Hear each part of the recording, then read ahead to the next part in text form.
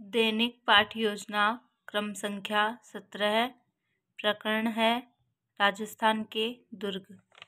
शिक्षण उद्देश्य, अपेक्षित व्यवहारगत परिवर्तन। पहला, ज्ञानात्मक अवबोध, ज्ञानोपयोग, कौशल अभिरुचि व अभिवृत्ति। नेक्स्ट है, शिक्षण विधि, प्रविधि।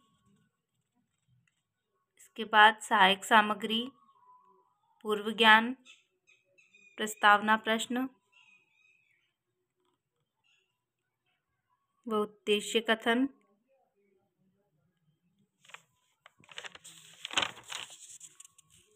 प्रस्तुतिकरण। शिक्षण बिंदु में पहला शिक्षण बिंदु।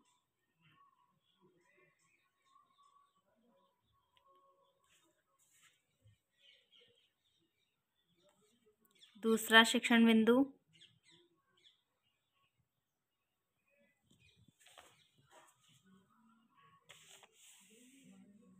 व तीसरा शिक्षण बिंदु।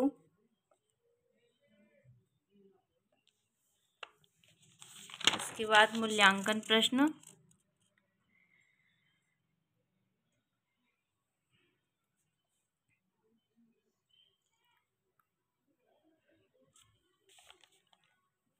कार्य प्रश्न।